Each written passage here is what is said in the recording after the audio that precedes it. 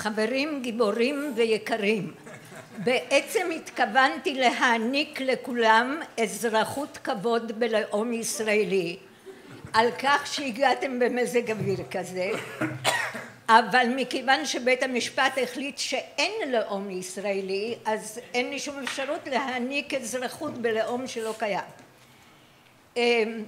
בעצם אם אנחנו ישראלים אז אנחנו איזה סוג של נוכחים נהדרים. היה כבר סוג כזה של אנשים ואנחנו כנראה נגלה חדשה של נוכח נהדר.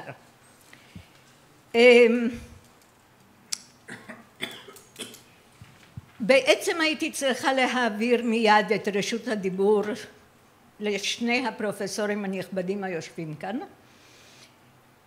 אבל אני חושבת שיש מילים כמה מילים שחייבות להיאמר למרות שאין לי ספק שהמילים האלה מיותרות לאוזני הקהל היושב כאן. זאת אומרת יש דברים שהן מושכלות ראשונים של חשיבה פוליטית, מדינית אבל אצלנו הגענו לתחכום אדיר ביצירת שפה מעומעמת משהו שלאף אחד לא ברור מה הוא אומר ומה פירושו ושאפשר לפרש אותו לכאן ולכאן.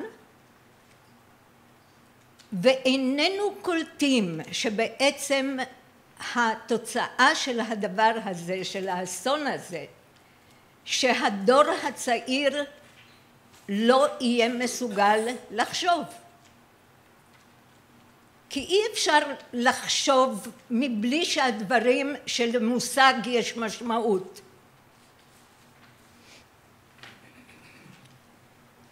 אז כמו שאמרתי לקהל הזה הדברים ברורים אבל המציאות מוכיחה שגם אם דברים מסוימים הם ברורים תיאורטית נוכחותם נמוגה לחלוטין מן ה-DNA של השיח הפוליטי והרעיוני בישראל. ומאחר ומוסכם עלינו שעל מנת שמושכלות יסוד יחלחלו דרך קבע בעורקי החשיבה יש לחזור עליהם כמעשה יומיום כמו שמע ישראל, כמו קריאת התורה מההתחלה עד הסוף מדי שנה.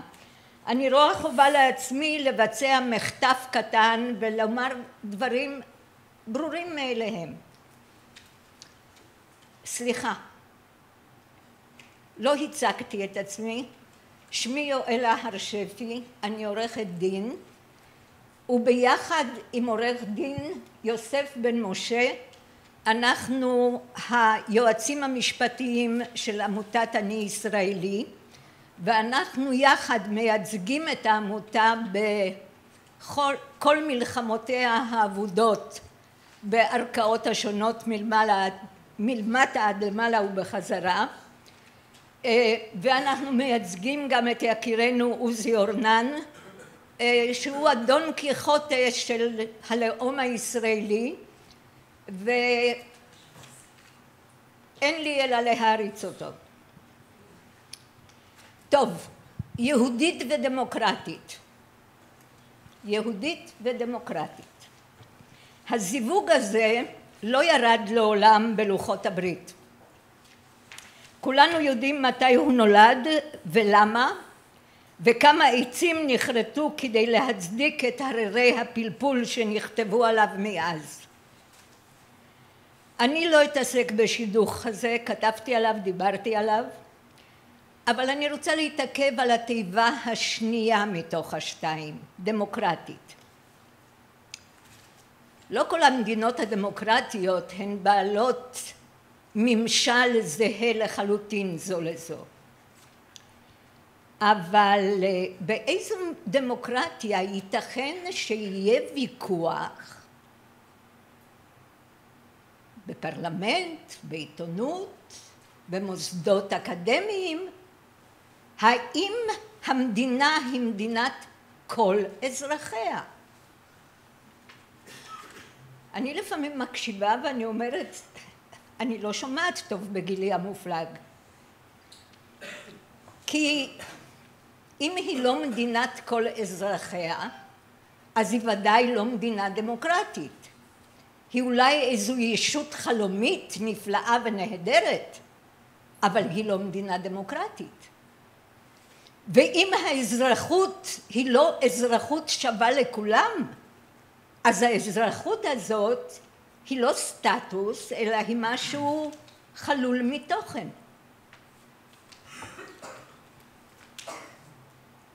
טוב, אז בא בית המשפט העליון וקבע שאין נאום ישראלי אה, ואז אני שואלת את עצמי איך אני שייכת ללאום ישראלי על פי הדרכון שלי ששם כתוב nationality ישראלי ואיך אני לא שייכת ללאום ישראלי על פי תעודת הזהות שלי. תארו לעצמכם שהיו כותבים בדרכון שלנו nationality Jewish.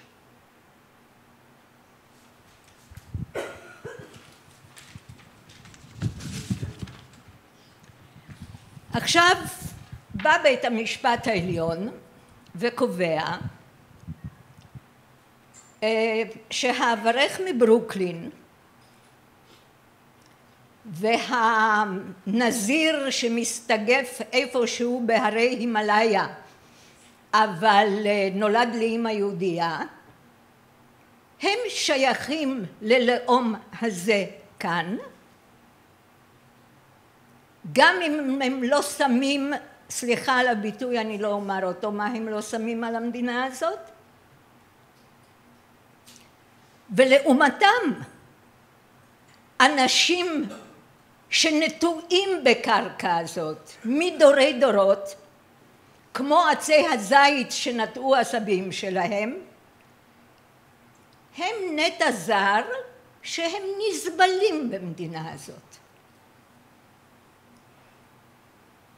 איך בדיוק יכול מפקד גולני הדרוזי איך בדיוק על סמך מה אנחנו דורשים ממנו שיסכן את חייו לטובת לאום שהוא לא שייך אליו? הדברים לא כל כך ברורים לי. אני גם לא רוצה להיכנס לעניין הזה עד כמה זה נוגד את האינטרס הלאומי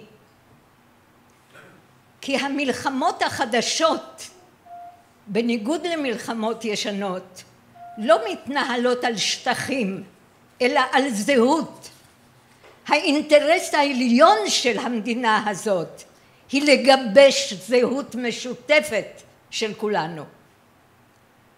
והיא פועלת בדיוק, היא חותרת כנגד זה. אני רוצה לדון בשלושה דגמים של מדינה ולאורם אה, לנסות להבין את התביעה להכרה בקיומו של לאום ישראלי בישראל. הדגם הראשון של המדינה שאני רוצה לחשוב עליו זה דגם מדינת הלאום וכאן אני רוצה להציע הבחנה בין לאום לבין אומה. לאום זה עם, לאום זה קשר בין בני אדם קשר בין בני אדם שיש להם זיכרון היסטורי משותף, שפה משותפת, תרבות משותפת ולפעמים אפילו קשר דם. אומה זה קשר משפטי לא בין בני אדם, בעקיפין כן, אבל במישרין, קשר משפטי בין אדם לבין מדינה. קשר של אזרחות. קשר שמטיל על האזרח חובות כלפי המדינה, אבל מקנה לו גם זכויות כלפי המדינה. חובות לשלם מיסים, חובות להיהרג במלחמה בשביל המדינה, חובות שלא לבגוד במדינה בדרך של מסירת סודות מדינה שנמצאים ברשותו, זכויות שהמדינה תגן עליו אם הוא אה, אה, נופל לידי אויב וצריך להוציא אותו משם, זכויות כמו למשל הזכות להשתתף בהליך הפוליטי ויכולות להיות זכויות נוספות עצם הגדרת הדיבור על אומה לא קובע את היקף הזכויות וזו תהיה נקודה חשובה שאני ארצה להגיד בהמשך. להגיד מדינת אומה זה לא אומר מה היקף הזכויות, כפי שנראה בהמשך זה יכול להיות היקף גדול והיקף קטן. להגיד מדינת לאום, וגם את זה אני אנסה להרחיב בהמשך, זה להגיד שמכל האינטרסים האנושיים הרבים והמגוונים, המדינה מתמסרת לקידומו של אינטרס אחד עיקרי, וזה האינטרס של שימור התרבות הלאומית של העם והמשך הטיפוח של התרבות הלאומית של העם. הדגם של מדינת הלאום זה הדגם השליט בעולם או לפחות במערב מאז המהפכה הצרפתית מזה 200 שנה והרעיון של מדינת הלאום זה שזו מדינה שנמצאת בשני תהליכים תרבותיים. אחד של האחדה תרבותית האחדה תרבותית של כל בני האדם שנמצאים בטריטוריה של המדינה וההנחה היא שהם משתייכים לקבוצות תרבותיות שונות אבל המדינה, מדינת הלאום, מאחידה אותם תחת תרבות אחת. זה מה שקורה בצרפת מאז המהפכה הצרפתית. 70 דיאלקטים של שפה מוכפפים לדיאלקט של פריז ובית הספר הצרפתי לאורך המאה ה-19 יחד עם הצבא הצרפתי יוצקים תרבות הומוגנית אצל האזרחים אז המדינה הזאת, מדינת הלאום, שרויה בתהליכים של האחדה תרבותית ובתהליכים של הטמעה תרבותית של כל המהגרים אליה. מי שמהגר אליה, הציפייה היא שהוא צריך להשיל מאחור את זהותו התרבותית הקודמת וללבוש מהר ככל האפשר את הזהות התרבותית של מדינת הלאום. וההנחה היא שגם אם זה לא מצליח בזמן הקצר, לאורך זמן זה מה שיהיה, ובסוף תהיה מדינה שכל האזרחים שלה משתייכים לתרבות לאומית אחת. המודל הזה יש בו שלוש בעיות קשות. קודם כל הוא כרוך במחיקת תרבויות. האחדה תרבותית, הצד השני של המטבע הזה, זה ביטול ומחיקה של תרבויות קיימות. ולתרבויות, כמו לבני אדם, וכמו ליצירות אחרות של בני אדם, יש ערך אינטרינזי, לא ערך אינסטרומנטלי. אנחנו לא רוצים למחוק בני אדם חלילה ולא יצירות תרבות ואומנות של בני אדם וגם לא את התרבויות של בני אדם. אז מדינת הלאום זה פרויקט הרסני, זה פרויקט משמיד שמשמיד תרבויות קיימות ולתרבויות כמו לבני אדם יש ערך אינטרינזי. שתיים, עד שזה קורה, מכיוון שכופים תרבות אחת, אלה שלא משתייכים אליה חיים במרכאות באוויר. אין מתאם בין קטגוריית התודעה שלהם בין איך שהם מבינים את העולם לבין התרבות שהם נמצאים בה, הם שונים, הם אחרים. שתיים, כל עוד אין את האחדה הזאת, בני אדם שלא משתייכים לתרבות הדומיננטית סובלים מפגיעה מטריאלית. אחת התובנות הגדולות של המחצית השנייה של המאה העשרים שקשורה עם הפוליטיקה של הזהות, ה-politics of identity, תובנה גדולה מאוד של העשורים האחרונים היא שקטגוריות תרבותיות מכוננות וקובעות את המצב המטריאלי של בני אדם. אם אנחנו בקטגוריות תרבותיות שמתעלמות לדוגמה מקיומם של ערבים במדינת ישראל, למשל לפי הנוסחה של מדינה יהודית ודמוקרטית שלא נותנת קיום לכך ש-20% מאוכלוסיית הערבים, הפוליטיקה של הזהות תגיד לנו אם אתה מתרגל לחשוב כך וגם המיעוט שנמצא בתוכך מתרגל לחשוב כך, בסופו של דבר יוקצו לו גם פחות משאבים מטריאליים כי לא ייקחו אותו בחשבון, לא יחשבו שהוא שווה לכולם והוא בעצמו גם כן יימנע מלתבוע. זאת אומרת, ברגע שיש תרבות דומיננטית שלא נותנת מקום לתרבויות אחרות, וזה מה שקורה בפרויקט של מדינת הלאום, בני תרבויות המיעוט, מכיוון שאין להם מקום בחשיבה, נפגעים בסופו של דבר גם בהקצאתם של משאבים מטריאליים. והבעיה השלישית של הפרויקט הזה של מדינת הלאום בעיניי, ובעיניי זו הבעיה העיקרית שלו, זה שהוא מתמקד באינטרס אנושי אחד, ונותן משניות תחת הקדימות הזאת להרבה מאוד אינטרסים אנושיים שהם חשובים לא פחות מהאינטרס האחד הזה שבו מתמקדת מדינת הלאום וזה האינטרס של שימור התרבות הלאומית של הקבוצה וטיפוח התרבות הלאומית של הקבוצה ולנקודה הזו אני אגע בעוד כמה דקות שוב. הדגם השני של המדינה זה דגם המדינה הרב תרבותית ש... עולה בעשורים האחרונים בחשיבה שלנו על המדינה וקורה כאן משהו שהוא לא פחות מאשר מהפך פרדיגמטי במובן של החשיבה של תומאס קון על פרדיגמות מדעיות שמתחלפות אחת במקום השנייה. זאת אומרת פרדיגמה היא מסגרת לחשיבה שמאתרת מה רלוונטי במציאות האינסופית במורכבות שלה, על מה צריך לחשוב, במה להתמקד ועל מה, ומה חשוב ומה לא חשוב, מה מואר בדיון ובחשיבה שלנו ומה מוחשך. קורה כאן בעשורים האחרונים מהפך פרדיגמטי של מעבר מהבנת המדינה כמדינת לאום להבנת המדינה כבעצם מדינה רב תרבותית. זאת אומרת הקביעה היא שבעצם נכון לסוף המאה העשרים אין ולו גם מדינה אחת בעולם שהיא מדינת לאום הומוגנית. זאת אומרת כל המדינות בעולם מבחינת הרכב האוכלוסייה שלהן הן רב תרבותיות במובן הזה שיש בהן יותר מקבוצה לאומית אחת ואו יותר מקבוצה דתית אחת ובכל מקרה הרבה מאוד קבוצות אתניות כמו קבוצות של מהגרים, קבוצות של עמים ילידים וקבוצות של שבטים. זאת אומרת יש כאן חילוף מהפכה בחשיבה שלנו על המדינה בכל הדיסציפלינות שבהם אנחנו חושבים על המדינה שאומר בעצם אין מדינות לאום בעולם כל המדינות בעולם הן רב תרבותיות וזו הדרך שבאמצעותה צריך לחשוב על המדינות. אם חושבים ככה על המדינות מגיעים לפחות לשתי מסקנות בין רבות אחרות. קודם כל שהעניין של במדינות ליברליות הטיעון שהמדינה היא נייטרלית הוא טיעון כוזב מהבחינה הזאת שגם מדינה ליברלית יש לה תרבות דומיננטית אחת שהיא מנציחה אותה במערכת החינוך שלה, בשפה שלה, בחגים הלאומיים שלה, בימי השבתון שלה בשבוע. יש תרבות דומיננטית גם אם היא לא ממוסדת במדינה הליברלית כחלק מהחוקה או המשפט של המדינה. ולכן מכיוון שבני אדם חיים בתוך תרבות אם התרבות שלהם במדינה הרב תרבותית שונה מהתרבות הדומיננטית הזאת שבפרויקט הליברלי הוא היא שקופה ולא מדברים עליו ולא לוקחים אותו בחשבון אם זה המצב אז בעצם כל מי שלא משתייך לתרבות הדומיננטית לדוגמה הוא לא נוצרי בארצות הברית או שפת האם שלו היא לא אנגלית וכולי וכולי או הזיכרון ההיסטורי שלו לא כולל את Thanksgiving כל האנשים האלה במדינה ליברלית שמתיימרת להיות נייטרלית מבחינה תרבותית הם אחרים הם מרגישים זרים והפרויקט של המדינה הרב תרבותית הוא להגיד עכשיו ניתן גם לכם מקום בין התרבויות שאותן אנחנו מטפחים. אנחנו מבינים שהמדינה נוקטת עמדה ומכריעה כל הזמן בעד תרבות אחת מסוימת גם אם היא מדינה ליברלית ובטח אם היא מדינת לאום שכל תכליתה למחוק תרבויות ולתת קדימות לתרבות אחת אבל אפילו המדינה הליברלית כמו ארצות הברית יש לה תרבות דומיננטית.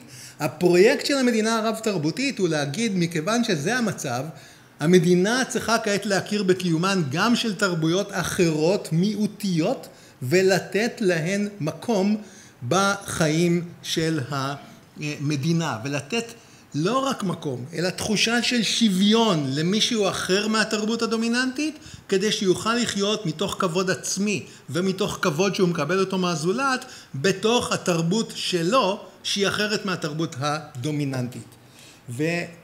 מסקנה שנייה שנובעת מהחשיבה על המדינה כמדינה רב תרבותית זה לומר שכל התרבויות ייצרו לאורך ההיסטוריות שלהן תוצרי תרבות בתחום ההגות, בתחום הספרות, בתחום האמנות הפלסטית והמדינה במקומות שבהם היא משמרת ומטפחת תוצרי תרבות כאלה קודם כל באוניברסיטאות, במחלקות של ה-Humanities אבל גם במוזיאונים צריכה לתת מקום לתוצרי התרבות גם של הקבוצות האלה.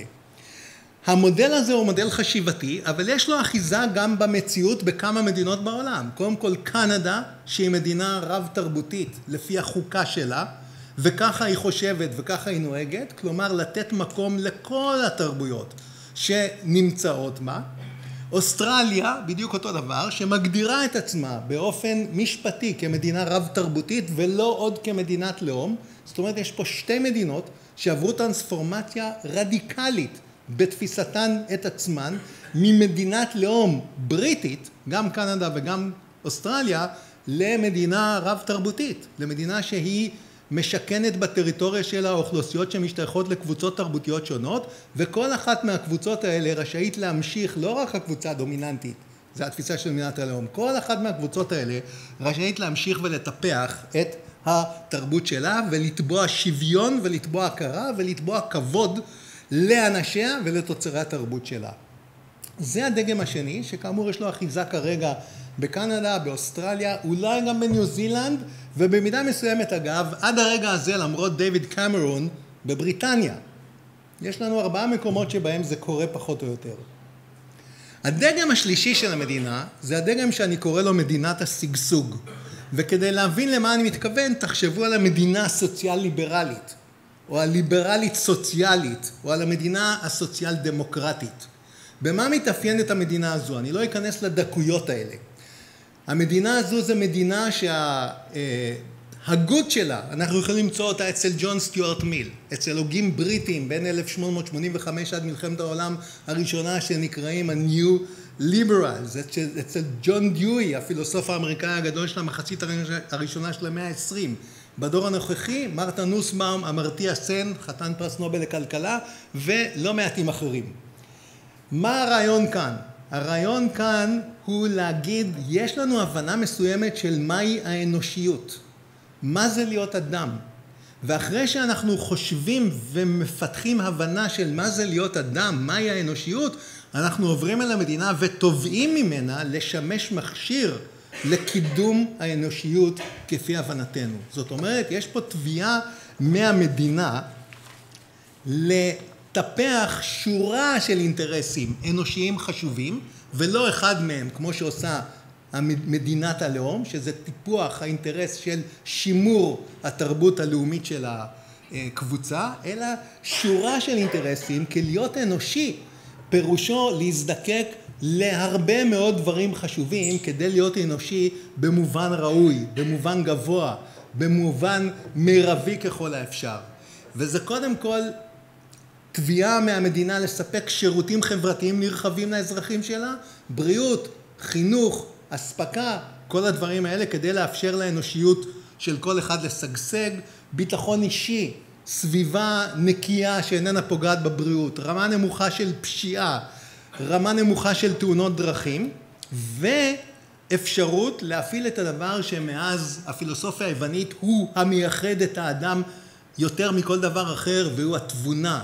זאת אומרת לאפשר לבני אדם להשתמש בתבונה שלהם ולהפעיל אותה על ידי זה שיעמדו לרשותם תוצרי תרבות מגוונים ואיכותיים ככל האפשר. הבוקר הוקמה בישראל השדולה להגנת התרבות, זה בדיוק הדבר ברוח הדברים האלה, לספק לא רק לעילית שהולכת 200 מטר מפה לבנייני האופרה והתיאטראות את המוצרים התרבותיים הנחשבים גבוהים ולא ניכנס לשאלה למה הם נחשבים גבוהים אלא אם יש תפיסה של תוצרי תרבות גבוהים לספק אותם לכולם באופן דמוקרטי ככל האפשר ולאפשר לבני אדם להיות יצירתיים בעצמם על ידי זה שהם בעצמם יוכלו לייצר תוצרי תרבות, לצייר ולכתוב ולהשתתף במחזות ושיהיו תיאטראות גם בפריפריות ותיאטראות חובבים כי האנושיות של אנשים משגשגת אם נותנים להם את האפשרות להביא לביטוי גם את היצירות הזאת של היצירתיות הזאת שלהם בציור, בכתיבה, בסדנאות,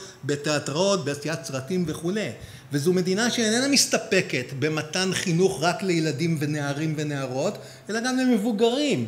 ולא מסכימה עם זה שכאן בתל אביב תהיה השכלת מבוגרים נרחבת של נשים שתודה לאל הם בריאים ויש להם זמן וגם אמצעים, אלא שבהנאות הגדולות האלה, שאולי כמעט הן גדולות מהן של ללמוד, ייהנו מההנאות האלה כל האזרחים של המדינה.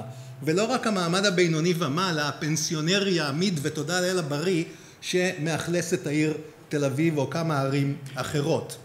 וגם שגשוג אנושי מחייב טיפוח של התרבויות שבני אדם חיים בהן ומייחסים להם ערך. אז המדינה הזו צריכה גם כן לעסוק בטיפוח התרבויות המגוונות של בני אדם שהם האזרחים שלה. זאת אומרת ההבדל בין מדינת הלאום והמדינה הרב תרבותית מצד אחד, שני הדגמים הראשונים שדנתי בהם, לבין הדגם השלישי של מדינת השגשוג, זה שמדינת השגשוג תופסת את האנושיות בצורה הרבה יותר מכלילה, הרבה יותר רחבה ואומרת לבני אדם יש הרבה יותר מאשר צורך אחד והוא צורך הלאומיות או התרבות הלאומית שלהם אלא הרבה צרכים והמדינה צריכה להיות מדינה אקטיביסטית באספקת יצירת התנאים לבני אדם כדי לאפשר לאנושיות שלהם לשגשג ולשגשג פירושו על פני מגוון גדול ורחב של רכיבים של אנושיות.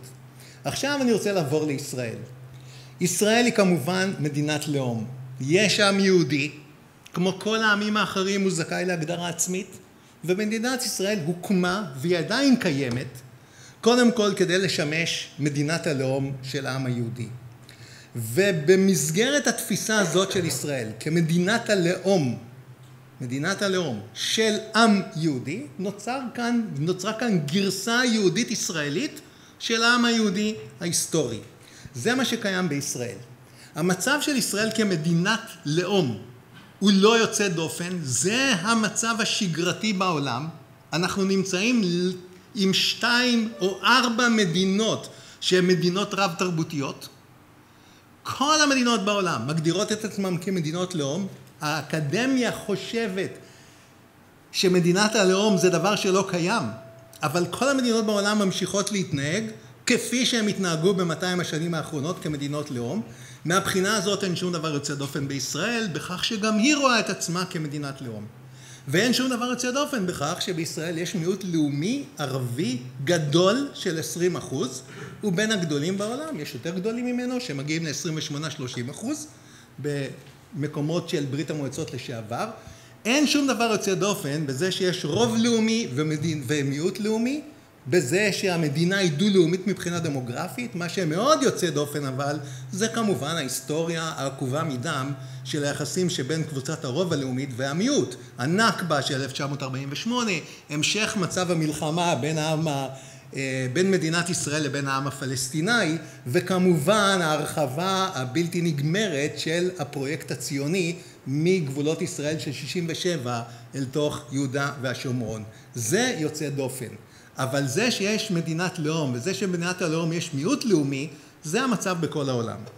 עכשיו, ככה ישראל תופסת את עצמה, ובכל הצעות החקיקה של השנים האחרונות, זה איך שהיא מנסה להגדיר את עצמה. היה לנו שלוש הצעות חוקה בעשור האחרון, הצעת החוקה של ועדת חוק חוקה ומשפט של הכנסת, הצעת החוקה של המכון הישראל דמוקרטיה, הצעת החוקה של המכון להיסטוריה ציונית. כל השלוש מתחילות בזה שישראל היא מדינת לאום. במקומות שבהם השתתפתי, בפורום השתתפתי, מחיתי כנגד זה ואמרתי מדינה ליברלית צריכה להגדיר את עצמה לא כמדינת לאום קודם כל, אלא כמדינת האומה של אזרחיה, כמכשיר בידי כל האזרחים שלה כדי לספק להם זכויות. אבל הקול הזה שלי לא התקבל וכל שלושת דברי החקיקה האלה מתחילים בהגדרת ישראל כמדינת לאום ונותנים משניות לכך שישראל היא מדינת האומה, מכשיר בידי כל אזרחיה. עכשיו, הביטוי האחרון של זה, אם ההקצנה הולכת וגדלה, היא כמובן הצעת החוק היסוד ישראל כמדינת הלאום של העם היהודי, שמזוהה עם חבר הכנסת אבי דיכטר, אבל עיניכם יחשכו אם תקראו את 18 התומכים האחרים בחוק הזה, חוץ מאבי דיכטר. הם נמצאים במפלגות כמו מפלגת העבודה וקדימה וכולי וכולי. והצעת החוק הזאת מנסה לסובב במרכאות עוד, עוד סיבוב את הבורג הזה, עוד יותר עמוק, ולהגיד שישראל היא מדינת הלאום של העם היהודי. יש כאן לאומיות על חשבון אומתיות. ישראל זה פרויקט של מדינת לאום, וישראל כפרויקט של אומה של כל אזרחיה יורד בדרגה. עכשיו, ישראל כמובן איננה תופסת עצמה כמדינה רב תרבותית. אמנון רובינשטיין, אלכס יעקובסון ואני ניסינו להציע בכתובין שישראל תגדיר את עצמה, אוקיי, כמדינה יהודית ודמוקרטית, אבל שבהגדרת המדינה יינתן ביטוי גם לעובדה שיש כאן מיעוט לאומי ערבי יחסית גדול. כל אחד מאיתנו, רובינשטיין, יעקובסון ואני, הצענו נוסחאות אחרות. אבל מתוך שהבנו שהגדרות תרבותיות הן חשובות ביותר לקביעת מצבם המטריאלי של בני אדם. זאת אומרת, אם לא תזכיר לעצמך כל יום וכל בוקר שיש כאן מדינה יהודית ודמוקרטית ובה מיעוט לאומי גדול, אם לא תזכיר לעצמך את זה, תתרגל לחשוב שאין כאן מיעוט לאומי ערבי גדול, ואולי גם הוא יתרגל לחשוב שהוא לא קיים, והתביעות שלו לא יקבלו את סיפוקן. התביעות האלה היו תביעות שהשמענו אותן בכתובין, כמובן ישראל רחוקה שנות אור מלאמץ את הגישה הזאת, אם כבר היא עושה משהו זה כמובן להתרחק מזה ולהקצין את מימד הלאומיות היהודית שבה על חשבון דברים אחרים. האם ישראל היא מדינת השגשוג של אזרחיה במובן הרחב שאמרתי? אז התשובה אני חושב שהיסטורית היא הייתה פעם כזאת, הפרויקט של הציונות בגרסת תנועת העבודה היה כמובן פרויקט לאומי, אבל היה כאן גם פרויקט חברתי גדול. פרויקט חברתי שרצה לבנות חברה חדשה ולבנות אפילו אדם יהודי חדש. אוקיי, הוא היה גבר והוא היה פלאח ויש לו הרבה בעיות, אבל העניין של טיפוח האדם היה חלק אינטגרלי מהציונות בגרסת תנועת העבודה. יש כמובן את הוויכוח האקדמי הגדול בין זאב שטרנל שאומר הפרימט היסודי היה לאומי והסוציאל דמוקרטיות הייתה מכשיר בידי הלאומיות ואניטה שפירא אומרת לא לא לא היה כאן משהו של חתירה אותנטית ליצירת תנאים לשגשוג של בני אדם. היה הרכיב הזה כאן פעם, אני לא אכנס בין הערים הגדולים של זאב שטרנל ואניטה שפירא, אבל כבר שלושים שנה בערך הוא לא קיים. אם היינו מדינת שגשוג, ברור שבשלושים השנים האחרונות עברנו למדינה ניאו-ליברלית. מדינה ניאו-ליברלית אומרת שלמדינה בעצם אין שום חובות כלפי האזרחים, והחיים של כל אדם ואדם הם פרויקט של ניהול עצמי. יש לך הון אנושי, והאחריות היא עליך לטפח אותו. והמדינה איננה, איננה צריכה ליצור עבורך את התנאים שיאפשרו לך לטפח את האנושיות שלך. זה פרויקט אטומיסטי, אינדיבידואליסטי, והמדינה צריכה לסגת לאחור, אתה מושלך אל העולם, אל גורלך, וצריך לטפל בחייך לבד, בלי לצפות שהמדינה תיצור עבורך איזה שהם תנאים של שגשוג אנושי. אז אני מוכן להגיד שהיה לנו מדינת שגשוג, או הפרויקט הציוני היה פרויקט של שגשוג אישי ואנושי, וכבר אין לנו את זה משהו כמו שלושים שנה, מאז שהאידיאולוגיה החברתית, כלכלית ופוליטית הניאו-ליברלית השתלטה על החשיבה הישראלית. יש סימנים ליציאה מזה, אה, אני לא מזלזל בהם בכלל, אבל זה רק התחלה. עכשיו, האם יש בישראל לאום ישראלי? תשובתי חד משמעית לא, אין לאום ישראלי. יש לאום יהודי ויש לאום ערבי. יש כאן שני עמים. אין כאן לאום עם אחד שאפשר, לאום על אחד שאפשר להגיד עליו שהוא לאום ישראלי. המדינה השקיעה את כל המשאבים שלה בטיפוח הלאום היהודי ומעט אם לא אפס משאבים בטיפוח הלאום הערבי. זה מה שהמדינה כמדינת לאום יהודית עשתה. אבל יש כאן, התוצאה היא שאין לאום ישראלי, יש לאום יהודי, יש לאום ערבי, מבחינה דמוגרפית ישראל היא מדינה דו-לאומית, דו-לאומית. אין כאן לאום אחד שהוא לאום ישראלי. מהבחינה הזאת אני חושב שהמהלך של העתירה הוא לא פחות משגוי. האם יש כאן אומה ישראלית? התשובה החד משמעית היא כן. יש כאן אזרחים שקשורים בקשר משפטי עם מדינת ישראל, קשר שמקנה להם זכויות, קשר שמטיל עליהם חובות, זה קיים לגמרי, יש אומה ישראלית, כמובן שהאומה הישראלית הזאת היא אומה שיש בה הבחנה ואפליה בין הקבוצה הלאומית היהודית לבין הקבוצה הלאומית הערבית. ברור, להיות יהודי בישראל זה ליהנות מיותר זכויות מאשר להיות שייך ללאום הערבי. אה, זכויות של הקצאת משאבי מדינה, השתתפות בתהליך הפוליטי וכל זה. ומהבחינה הזאת, אני חושב שפסק הדין של השופטים פוגלמן ומלצר הוא נכון לחלוטין. המצב של מדינת ישראל מבחינת איך שהיא קיימת ומתפקדת הוא שאין בה לאום ישראלי, יש בה שני לאומים כי היא מדינה דו-לאומית והשופט מלצר צודק שהוא מדבר גם על יהדותה הקונסטיטוציונית של המדינה. העובדה שזאת מדינת הלאום של העם היהודי היא על כל צעד ושעל ניכרת באיך שהמשפט הישראלי תופס ומגדיר את המדינה. ולכן התביעה להכיר בכך שיש לאום ישראלי היא עם כל הכבוד בעיניי תביעה שאיננה נכונה כרגע לא במצב התרבותי דמוגרפי של המדינה ולא במצב המשפטי שעל פיו המדינה תופסת עצמה. אבל מה זה להגיד שאנחנו רוצים שיהיה לאום ישראלי? וככה אני מבין את העתירה. שיהיה לאום ישראלי, אנחנו רוצים לצעוד לשם. אז אני חושב שלהגיד שאנחנו רוצים שיהיה לאום ישראלי זה מהלך לא פשוט מבחינה נורמטיבית ואפילו בעייתי מאוד. כי להגיד אנחנו רוצים שכעת שני הלאומים שחיים כאן ייצקו את עצמם אל תוך לאום, עם, לאום על ישראלי זו תביעה מאוד בעייתית בעיניי. משום שזו תביעה שאומרת אני רוצה למחוק תרבות יהודית ישראלית שהתפתחה פה במסגרת הציונות ולמחוק תרבות ערבית פלסטינאית שהתפתחה פה. אגב, גם במסגרת המפעל הציוני, כן, שתיהן. אז אני נגד מחיקה של תרבויות, אני בעד העשרה והפריה וטיפוח של תרבויות, ולכן אם זה המשמעות של להגיד אני רוצה לאום ישראלי, כלומר לצקת לתוכו את הלאומיות היהודית ואת הלאומיות הערבית, זה נראה לי מאוד בעייתי. מה זה להגיד אנחנו רוצים אומה ישראלית? להגיד שאנחנו רוצים אומה ישראלית זה כבר דבר אחר לגמרי בעיניי, וזה הכיוון הנכון. להגיד שאנחנו רוצים אומה ישראלית זה להגיד שאנחנו קודם כל רוצים שוויון זכויות אינדיבידואלי לשני העמים שחיים פה. כי הקשר של אומה זה קשר משפטי בין אדם למדינתו, זה לא קשר של לאום. קשר של לאום זה קשר בין בני אדם, והמדינה רק מכשיר לבני האדם הזה.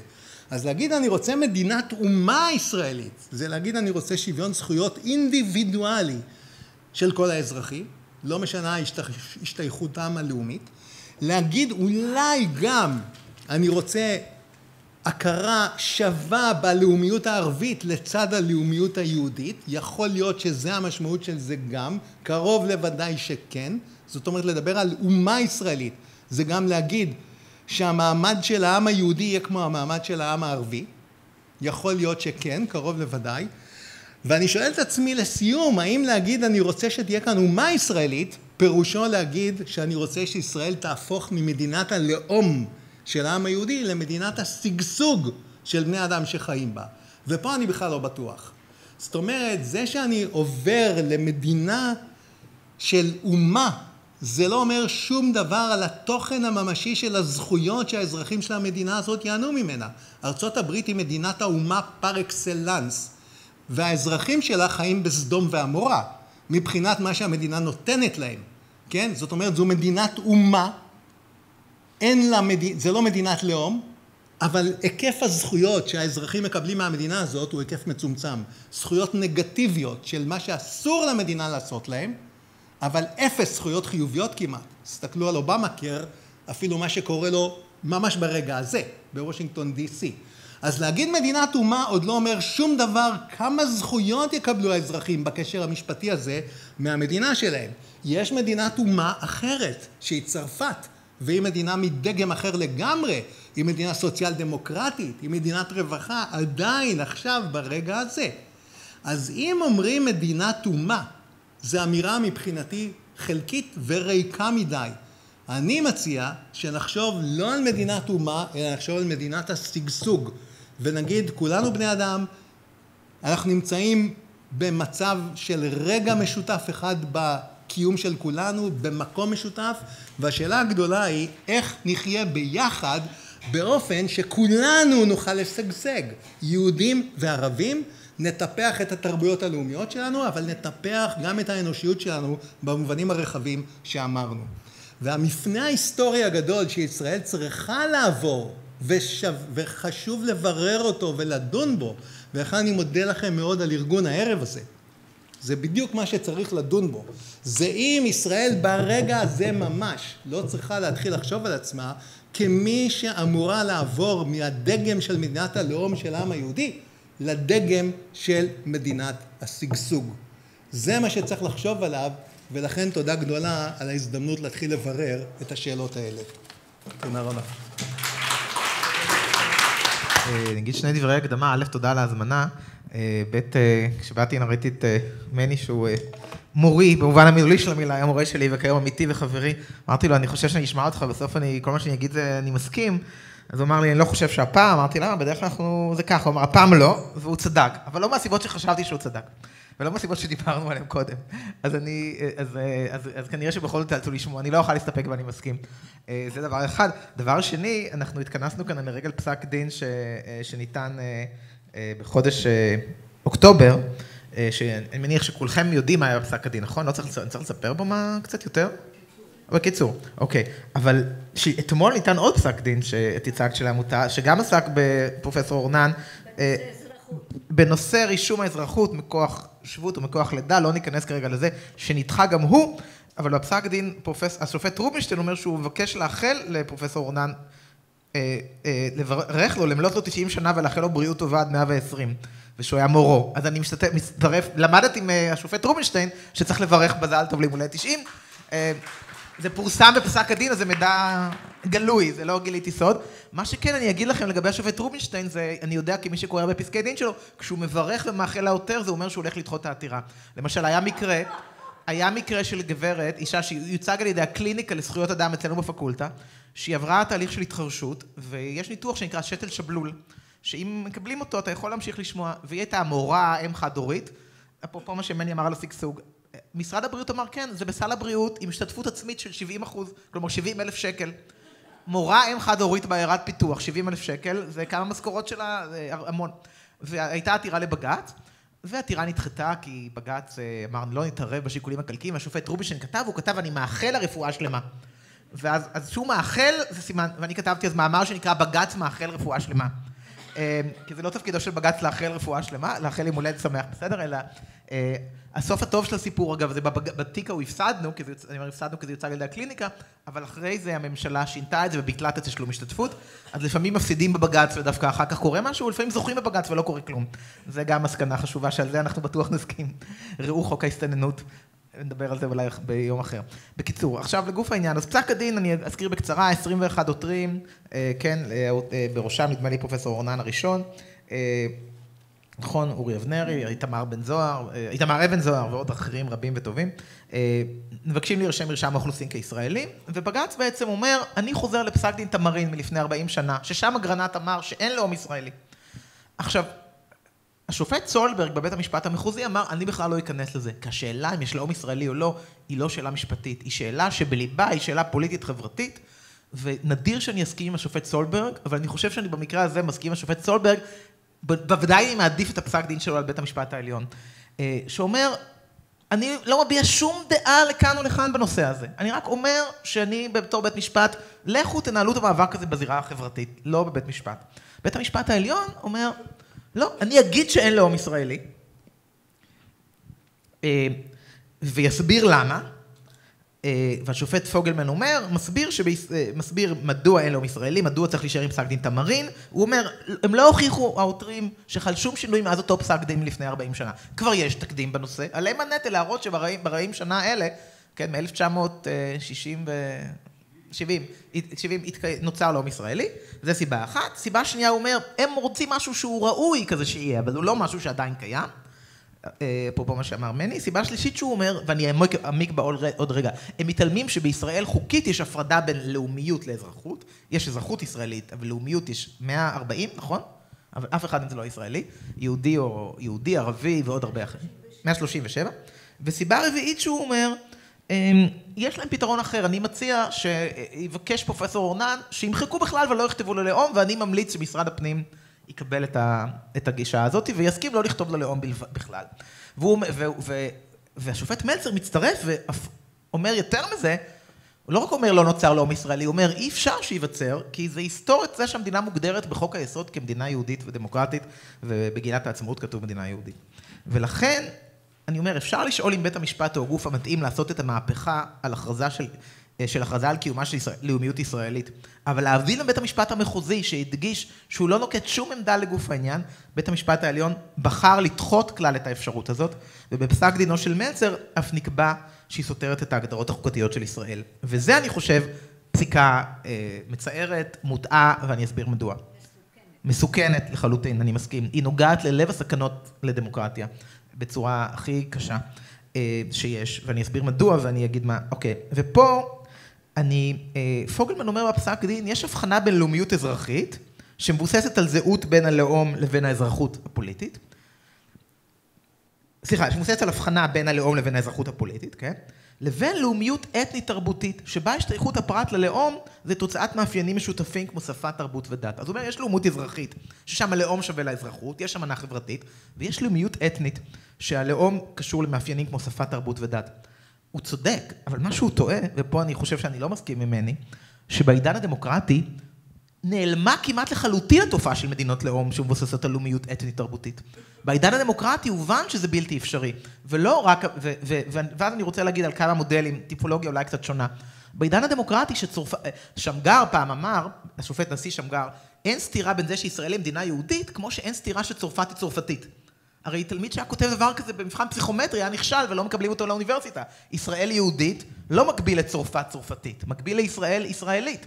והגדרה יהודית היא הגדרה שמראש אומרת המדינה היא של חלק מהאזרחים. זאת מדינת לאום של חלק מהאזרחים. הלאומיות האזרחית בשיטת צרפת, וזה הבדל עצום בין מדינת הלאום הצרפתית למדינת הלאום הישראלית, באה להגיד המדין, האזרחות שווה ללאומיות, כולם צרפתים. נכון, בצורה שיש, גם איתה יכול להיות בעיות, כמו עם כל הסיפור עם הרעלה בצרפת, יכולה לפגוע, אבל היא לא חייבת לפגוע. צרפתים, הם ילכו עם זה לכיוון כה קיצוני, שהם לפעמים פוגעים במיעוטים שאומרים, אתם לא יכולים ללבוש רעלה אה, אם, אם אתם עובדי מדינה, או אם אתם בבית ספר, כי חשוב לנו לשמור על האחידות של המדינה החילונית. אבל אתם יודעים שהצרפתים ששואלים אותם מה מצב זכויות המיעוטים, מה הם אומרים? אתם יודעים מה הם אומרים? אין אצלנו מיעוטים. כולם צרפתים. זו תשובה, היא גם קצת מעצבנת, אבל היא גם נפלאה. מה? ברור שיש גזענות, ברור, אני לא, ברור, בכל מדינה שהיא יש גזענות ויש גזענים. אני כעת מדבר מה המבנה החוקתי של המדינה כיום, אולי אה, מרי לפן תזכה בבחירות אה, אה, וכולי, ואולי גם אצלנו, אה, אצלנו כבר, אצלנו אנשים הרבה יותר ימינה ממרי לפן כבר זכו בבחירות, זה מה שמדהים, כן? זה פשוט, כן? מה, מה שנחשב בימין הקיצוני שאנחנו מזדעזעים ממנו, אצלנו זה שר החוץ, שר השיכון, כן? זה מדהים. אמ, אוקיי, אז בעידן המודרני, מדינות דמוקרטיות עשו אחד משניים. או שהם השוו את האזרחות ללאומיות, ואמרו, מבחינתנו כולם אזרחים. השייכות האתנית היא ערומה, אנחנו מתעלמים ממנה. אה, הצרפתים לקחו את זה לקיצוניות מסוימת, אבל אפשר להגיד שמבחינה הזאת, בעיניי דווקא, צרפת היא קצת יותר כמו ארצות הברית או קנדה, מהבחינה הזאת שהאזרחות היא לאומיות, נכון שבצרפת יש יותר את הרעיון של הלאומיות, אבל היא שווה לאזרחות. ויש מדינות שאמרו לו, מבחינתנו, המדינות מורכבות מכמה קבוצות לאומיות, וצריך שותפות ביניהן. אה, אולי קנדה, אולי באמת עם המקום המיוחד שניתן לקודבקים, אבל גם בלגיה למשל. בחוקה הבלגית כתוב, אה, כתוב מפורש, בלגיה מורכבת משלוש קהילות, הפלמית, הוולונית והדוברת גרמנית. לא כתוב בלגיה זה מדינת הפלמים ושאר אזרחיה. אם היה כתוב את זה, בלגיה כבר מזמן הייתה מתפרקת. בבריטניה גם, אז כיום יש לוולשים פרלמנט משלהם, לסקוטים משלהם, אבל אם היו כותבים בחוקה בריטית שאיננה, בריטניה היא מדינת האנגלים ושאר אזרחיה, הסקוטים לא היו מחכים למשאל העם שמתקיים ב-2014, כבר מזמן היו עוזבים, היו אומרים איזה שערורייה זאתי. לכן ההשוואה של ישראל למדינות הדמוקרטיות, ישראל כן ייחודית בזה, בעיניי, היא ייחודית בהגדרה של מדינת לאום שלא זהה לאזרחות מצד אחד, או לחלופין לא מכילה כמה קבוצות לאומיות על סמך שותפות. למודל הראשון, נגיד, של צרפת קוראים לפעמים דמוקרטיה אזרחית או דמוקרטיה ליברלית, שבנויה על הרעיון של האזרחות שווה ללאומיות. מבחינת המדינה, אתה יכול להיות... אה, אגב, בגלל זה אני אומר שהדמוקרטיה, מדינת הלאום האזרחית לא חייבת לרמוס את הרב תרבותיות. אתה יכול להיות, אה, לקיים את הפרקטיקות שלך כעניין פרטי ואישי, לא צריך ללכת כמו הצרפתים, גם, גם הצרפתים אגב לא מונעים מאף אחד לקיים את הפרקטיקות שלו, אומרים בספירה הציבורית, בבתי הספר ובשירות המדינה, אנחנו רוצים את האחידות, אני מסכים שזה בעייתי. אבל, אבל לא, לא, זה לא מחויב המציאות העמדה הצרפתית הזאת, היא מאוד שנויה במחלוקת. היא לא קיימת בהרבה מדינות אחרות. אמ, אה, זה, זה שיש אפליה וגזענות, זה שאם אתה מוסלמי בצרפת, ברור שיהיה לך דעות קדומות, תיתקל באפליה, אבל אין מבנה חוקתי שאומר לך, אתה אזרח סוג ב'. אין חוקים שאומרים אה, אה, לנוצרים, יש מקומות שנוצרים יכולים לקנות קרקע ויהודים לא. כיום אין, עד נפוליאון היו. בישראל יש חוקים כאלה. אמנם בג"ץ בפסק דין על קציר, קעדאן, צמצם מאוד את האפשרות הזאת, בפועל זה עוד קיים. לכן ההשוואה, לכן ההגדרה החוקתית של ישראל היא כמדינת לאום אתנית. איפה יש מדינות לאום אתניות כאלה? אני מבין שאני לא כל כך בסרי לנקה, כנראה, בחלק מהמדינות שיצאו מיוגוסלביה, בוסניה, ומאוד נהיו לאומיות קיצונית והגדירו את עצמם מאוד אתניות קיצונית. המדינות הדמוקרטיות רובן, אגב, ישראל היא כאן במיעוט עם מעט מדינות במודל הזה. אמרו, או שאנחנו הולכים למודל של דמוקרטיה אזרחית, שאומרים, האזרחות שווה ללאומיות, חוקתית חייבים להגדיר את כולם כאזרחים, או למודל, קוראים לזה לפעמים דמוקרטיה הסדרית או קונסטיציונלית, איזשהו הסדר של כמה קבוצות שהחוקה מסדירה את השותפות שלהם בשלטון, כמו בבלגיה, או אולי צרפת וכולי. אה, בלבנון זה היה בנכשל, גם שם היה ניסיון כזה. אה, עכשיו, ישראל היא לא במודל א' ולא במודל ב'. בגלל זה פרופסור סמי סמוך, הטבת המונח הזה, דמוקרטיה אתנית, להגיד, יש יסודות דמוקרטיים מסוימים, אבל העיקרון האתני הוא גובר והוא משפיע על הקצאת המשאבים. אם אתה, יש, אם אתה יהודי ישראלי, בית הספר שאתה הולך אליו יקבל יותר תקציב. יהיה יותר מרפאות איפה שאתה גר.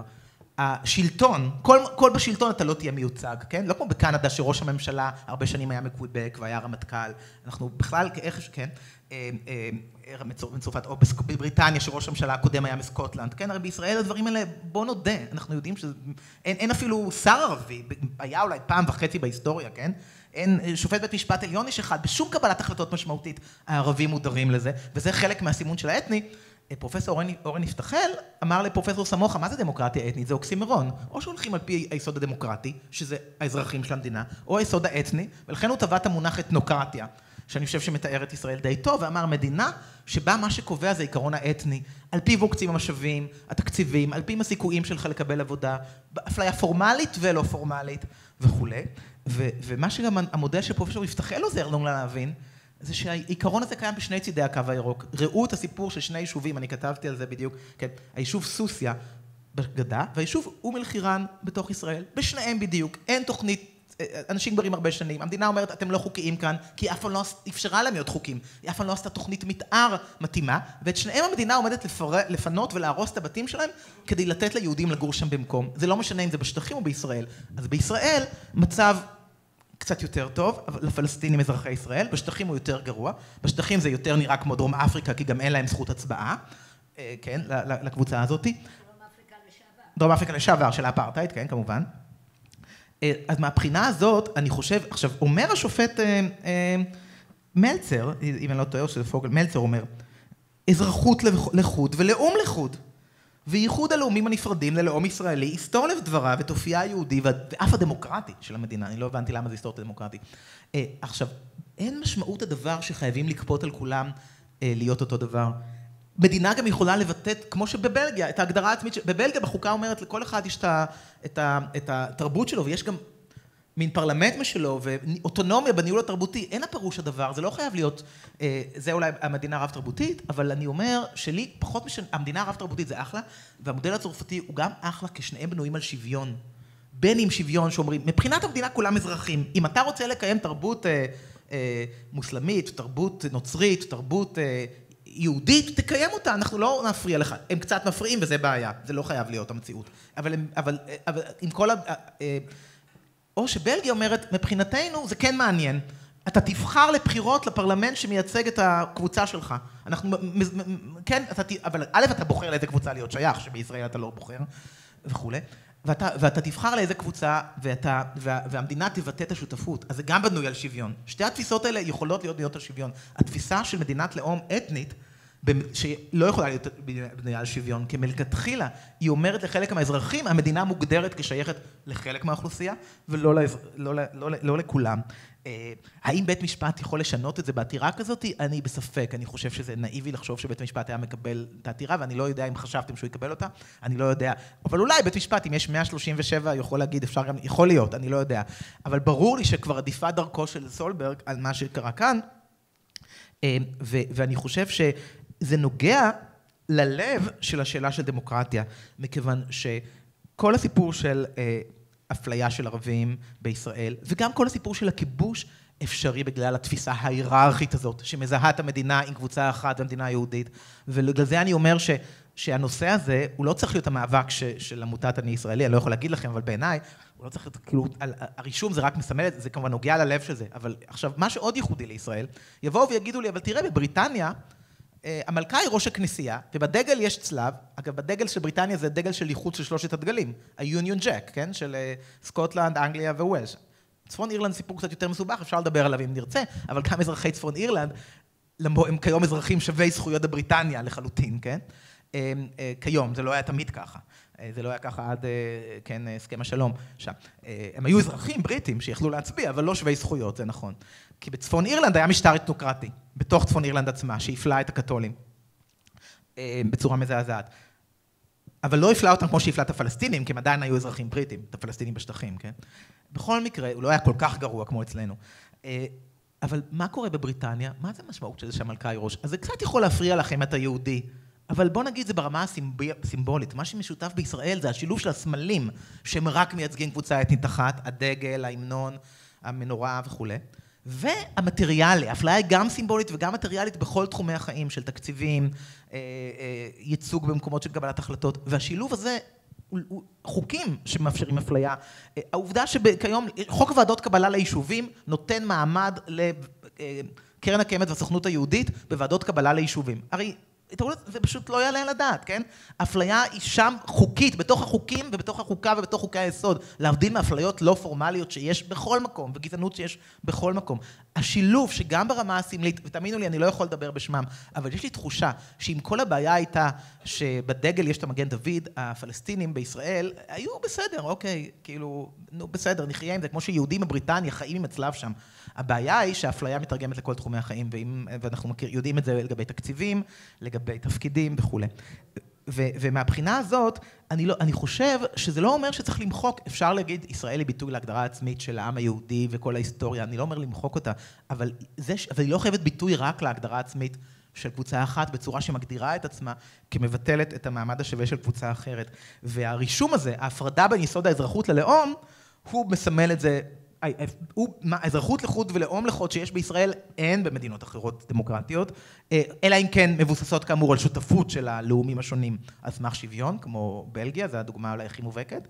אה, אני תמיד אומר, הבלגים מתלוננים, יש לנו משברים קואליציוניים ומתווכחים, ואומרים, אתם לא יורים אחד לשני סביב הסכסוך הזה שלכם, אז תהיו בשקט, תנו לי את הסכסוך שלכם כל יום, כן?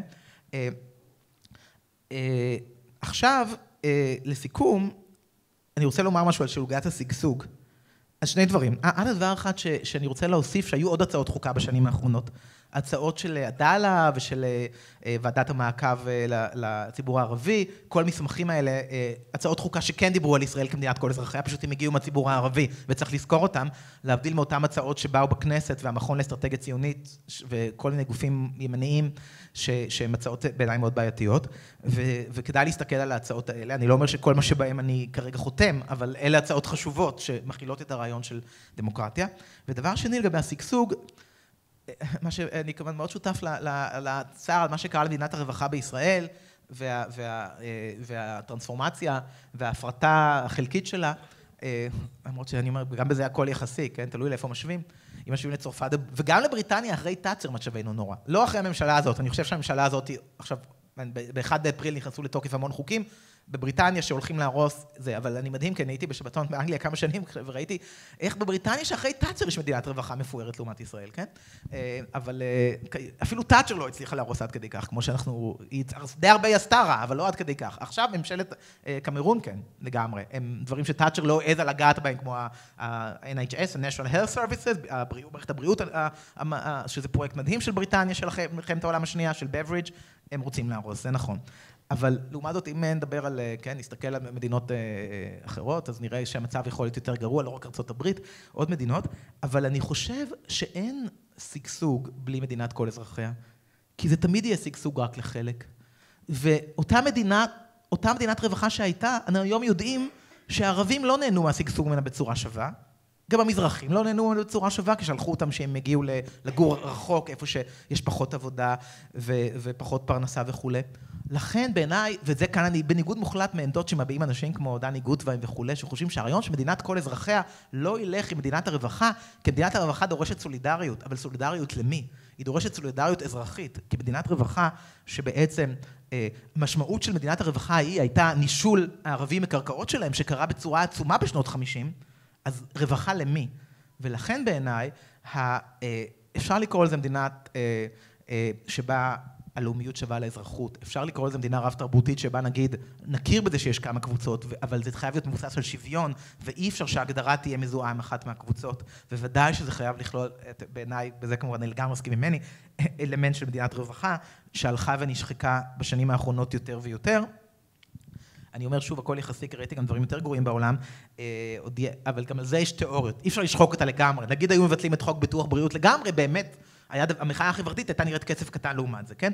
אבל אפשר לשחוק את זה יותר ויותר, יותר ויותר להתלות את הנגישות לבריאות בתשלומים, ולעשות כאילו, הפרטות, כאילו, אי אפשר לגמרי, כלומר, אפשר, אבל, אבל אפשר, יש ניתוחים על זה יפים שאומרים, לא תהיה הפרטה מוחלטת, מחיקה לגמרי, כי אז הציבור באמת, כאילו, אולי יתקומם יותר, כן? יותר מהמחאה החברתית שנגמרה בכל ענות חלושה, אפשר לדבר עליה גם. אז אני חושב שכאמור זה השינויים שצריכים להיות בשביל שתוכל להיות כאן דמוקרטיה, וכל עוד נישאר עם ההפרדה הזאת בין יסוד הלאום והאזרחות וזיהוי המדינה עם אחת מהקבוצות הלאומיות באופן בלעדי ולא באופן שוויוני לכמה קבוצות, לא תהיה כאן דמוקרטיה. תודה. אני רוצה בתחילה לדבר על שאלה לשונית של לאום ואומה. אה, באנגלית או גם בשפות אחרות אני חושב יש רק מילה אחת, והיא המילה nationality. עכשיו מה שקרה זה שבתרגומים לעברית היה פעם תרגום בתור חבר הלאומים ובארגון השני זה נקרא אה, האומות. אז מזה יש לנו שניים, לא צריך, השניים האלה מיותרים, מספיק, מספיק מילה אחת. ואני יכול לומר למשל דבר כזה, מה פירוש המילה לאום? אני, אני nation, כפי שאתה רוצה. יש חברות בארגון האומות המאוחדות, שכל אחת מהן, כל הנציג של מדינה, מייצג את כלל האזרחים של המדינה, בלי שום היסוס. למשל היהודים של אמריקה מיוצגים על ידי הנציג של ארצות הברית באו"ם. וכמובן בתור לאום, הם שייכים ללאום האמריקני, או שתקרא לו איך שתקרא, זה, זה היסוד המשפטי של כולם. וכאן כמובן נכון שהשימוש הקודם לפני הארגונים האלה במילה לאום בעברית לא היה כזה, בכלל לא היה כזה. לאום הייתה שאלה שלמשל קרובי משפחה, לאום אתני או קבוצה דתית או פחות, שבט זה אולי מוגזם, אבל כל, כל צורה אחרת היא הלאום. ואני יכול לומר לכם, אני הסתכלתי בשני מילונים, מילון אנגלי על המילה ניישן. מילון אחד היה מ-1920, אני אגיד לכם בעל פה, כל אחד יש כמובן כמה משמעויות למילה לאום. אז שם המשמעות הראשונה היא הקובעת. השנייה, כי הראשונה זה אבסוליט, זה לא קשור. אז המשמעות הראשונה האמיתית, לאום היא קשרי דם שישנם בין האנשים, יש להם שפה משותפת ולרוב גם אה, אה, דת משותפת וכיוצא באלה. זו הייתה המשמעות הראשונה.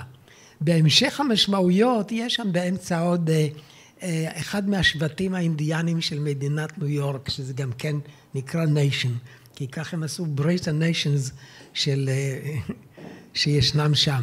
והמשמעות הרביעית, כמעט לפני הסוף, כתוב ש... אותם, ה... אותם בני אדם שיושבים במדינה תחת ממשלה אחת, או שואפים לזה. אבל זה היה המשמעות הרביעית. עכשיו הסתכלתי במילון אחר, שהוא היה מ-1980 ומשהו. ואז מה מתברר? המשמעות הראשונה, זאת שהייתה שם רביעית. זאת המשמעות העיקרית היום. באותה מילה. אז כשם שזה טוב לדוברי אנגלית, אנחנו יכולים להסתפק במילה אחת, והיא המילה לאום. לשם ביטחון אפשר לומר לו, אני רוצה לאום מדינה. אני מדבר על לאום מדינה. אתה מדבר על לאום במובן של יסוד אתני. בבקשה, אל תשתמש במילה לאום. לא כדאי. אנחנו פשוט באים לידי בלבול. זה בעצם הבלבול שישנו, מה שאמרה יואלה, שהנה, אם היא מסתכלת על ה... דרכון, אמנם שם הם תרגמו את הנשיונליטי בתור אזרחות, אבל אנחנו יודעים שזה לאומיות. אז הנה יש לאום אחד, כשהיא מסתכלת על הדרכון שלה, אז הלאומיות שלו היא ישראלית, ככה זה כתוב. כשהיא מסתכלת על תעודת הזהות, אז הלאום שלה הוא יהודי במקרה, או ערבי, או משהו אחר. זאת אומרת, יש פה שתי משמעויות למילה לאום. הלאום המדינה זאת המשמעות המכרעת. הקבועה, המודרנית, שהיא באמת שייכת לעניין. ועל היסוד של לאום מדינה, אנחנו ביקשנו לשנות את הלאום שלנו, אנחנו 21 אנשים, או זה רק גלגול שני, הגלגול הראשון, היו 38 חברים שעתרו. נפטרו וחלקם לא. כן, היו קשיים, אחדים היו בחוץ לארץ, עשינו את זה קצת בחיפזון, רק 21, בתוך ה-21 נוספו עוד אחדים שלא היו בהתחלה. רק להזכיר לכם שחתם את הרשימה של 38 חברנו אה, בני פלד, שהיה מפקד חיל האוויר. אבל אה, לצערי הוא נפטר, אנחנו רק ביקשנו שהוא יובא בחשבון כשידונו בזה, שגם הוא ביקש אותה בקשה. אבל רבותיי, עכשיו יש פה שאלה כזאת. זה נכון שכתוב לאום יהודי, אבל בואו תחשבו לרגע אחד, מה זאת אומרת לאום יהודי? זה לאום? יש לו מדינה? יש שם חוקים שווים לכל האזרחים במדינה הזאת? כי זה לאום מדינה. צריכה להיות דמוקרטיה בשביל העניין, צריך להיות שוויון בין האזרחים. אבל אי אפשר להיות בן הלאום היהודי לפי מה שמתחשק לך. אתה צריך קודם להתגייר כדי שתהיה, שתהיה שייך ללאום היהודי. זה בכלל לא מונחים של מדינה, זאת קהילה, וצריך לכנות אותה בשם הנכון. יש קהילה יהודית. לא בושה בקהילה, דרך אגב, בבלגיה, מה שאתה הזכרת בצדק, הם לא אומרים לאום ולוני ולאום פלני, אלא אומרים קהילה ולונית, קהילה פלמית, קומיוניטי, זה נקרא בחוקה שלהם. זאת אומרת, המילה, המילה קהילה היא לא בושה, אבל אנחנו יודעים שקהילה יהודית, צר לי, אי אפשר להיכנס אליה סתם, יש מי שממונה על זה והוא איש דת, יש להם חוקים שהם חוקי אפליה מובהקים. אה, למשל, המצווה הראשונה החשובה של הקהילה הזאת, שמתיימרת להיות לאום יהודי, אומרת שאסור להתערב בגויים. ויש להם אה, אב קדמון, חשוב מאוד, ששמו עזרא, שהוא נבהל כשהוא ראה שהמיוחסים בני הגולה פתאום לקחו להם נשים מעם הארץ. ואז הוא ציווה והם שמעו בקולו, הוא הפריד את המשפחות. אבל שימוש זה לא סיפור שהיה פעם בימי קדם. זה גם היום הרב של צפת, עם עוד חמישים רבנים אחרים, רוצים אותו דבר. אסור, ש... אסור שיבוא ויגור ערבי בבית של יהודי, ובייחוד חס ושלום אם יש שם בנות ופה בנים, סוף העולם. כי זה מפר את המצווה היהודית הראשונה לא להתערב בגויים. אז איך אפשר לדבר בתנאים כאלה על לאום? זה לא לאום חדש, לא לאום מודרני, לא במשמעות של הלאום המודרני, שזאת המשמעות הנחוצה לנו, שאנחנו יכולים לדבר עליה באמת, אלא זה המשמעות הישנה של הקבוצה האתנית, אבל היא לא סתם אתנית, היא אתנית דתית, מסתגרת, איננה נותנת לאחרים להיכנס אליה, איננה מתערבת עם האחרים, הם לא ילכו לגור בשכונה כזאת של גויים, זה דבר שהוא אה, בכלל אסור. אז רבותיי, זה דבר שלא יכול להיות. עכשיו אומר לכם, זה באמת, למדנו הרבה מאוד, אני חושב, מהערב הזה. מה שאתה אמרת על מדינת שגשוג, מדינה משגשגת, זה בעצם הדמות שאף פעם לא ידעתי את השם הזה, אבל אני אומר, זאת, אני נתתי פעם דוגמה, מה זה נקרא לאום ישראלי? היא לא פוגעת במרקם הקיים בין הקבוצות השונות שישנן שם, ויהיו מה שיהיה. אם אין שמיכה שמכסה את הכל, היא לא פוגעת במה שיש בפנים. אבל האם זה תפקיד המדינה באמת לפרנס ולדאוג לכל אחת מהקבוצות האלה? בלי שהם יטרחו במשהו? יש כמה דרכים. אה, בגרמניה יש הפרשה לצורכי דת. שאדם יכול, אם הוא רוצה, הוא משתתף במיסים האלה של דת, ואז שואלים אותו לאיזה דת אתה רוצה לתרום, והוא אומר לו, תודה, אני לא רוצה לתרום לדת הזה. זה יכול להיות בסדר גמור. זאת אומרת, יש איזה משהו כללי, ויש קבוצות, אין במקרה זה קבוצות דתיות, יכול להיות שיש להם היום, אה, זה לא רק קבוצות דתיות, אולי זה מוסלמים, אבל אולי זה טורקים. אינני יודע איך שם המצב. יכול להיות דבר כזה, שהוא רוצה לתרום רק לתרבות טורקית. בסדר, זה יכול להיות גם סידור שלנו.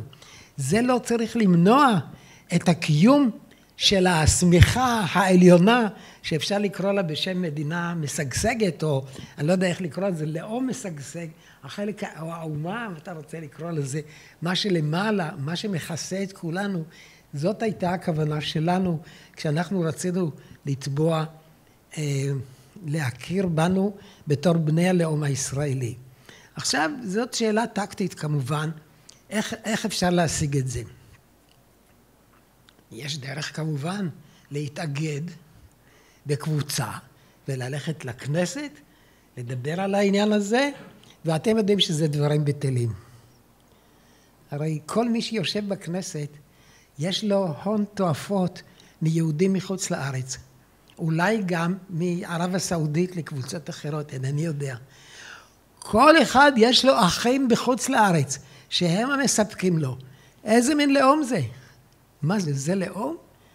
זה קבוצה מפוזרת בכל העולם, שהם דואגים לאחים שלהם, כמו שבחב"ד עושים בית חב"ד בהודו, הם עושים בית חב"ד בישראל, מה זה משנה להם? כל הארצות אותו דבר. יש הרבה קהילות יהודיות, יש אחת פה, זה הכל בסדר, היא תהיה פה. בעוד שאפשר לומר שלפני כן, לפני שחלו השינויים, אז לכאורה בימי היישוב העברי היה חלום על עם ככל העמים. מה זה עם ככל העמים? זה בוודאי דמוקרטי, וזה בוודאי כולם שווים, בוודאי אין לו שום עסק עם דת. זה היה החלום, אני יכול לומר, אני לא יודע אם זה החלום הציוני, אבל זה היה החלום של היישוב העברי. אני אומר לכם את זה לא רק מפני שאני זוכר עוד משהו כזה, פחות או יותר מילדותי, אלא שאתם יכולים לקרוא על זה בלי סוף. למשל, אני יכול לספר לכם דבר שאני לצערי עוד לא הייתי אז, אבל ב-1910 הייתה חגיגה גדולה בירושלים לכבוד 30 שנה לפעולתו של בן יהודה. ואז קם אחד מראשי המדברים, איש עסקן נמרץ וידוע בשם אה, יעקב טון, שהוא היה, הוא היה עם, עבד עם קפלן, היה סגן של קפלן, למעשה הוא ניהל את העניינים של קפלן יותר מאוחר. ואז הוא קם באספה הזאת ואמר, מיום שהתחיל בן יהודה בפעולתו, מת היהודי ונולד העברי. ממש במילים האלה. והמילה עברי שימשה אותם בשביל ההבחנה ביניהם, שכמובן באופן ביולוגי הם יהודים, הם כולם יש להם אה, אה, ייחוס של, של אבות ואימהות וסבים יהודיים, אבל הם קוראים לעצמם עברים. אגב, הזכרתם קודם, שמעתי את שמו של איתמר, אה, איתמר אבן זוהר, שהזכרתם אותו, הוא בין העותרים שלנו.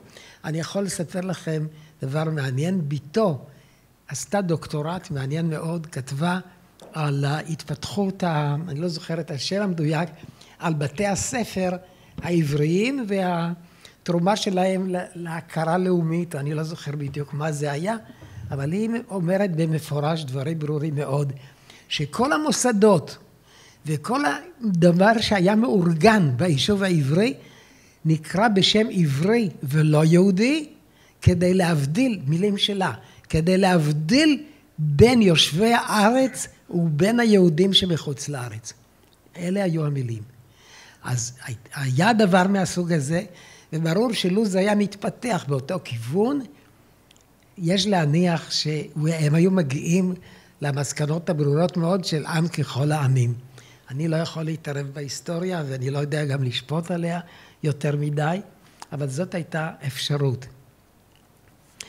אלא שאגב, אני צריך לומר לכם, מהר מאוד, מגילת העצמאות למשל, כתובה כולה ברוח הזאת.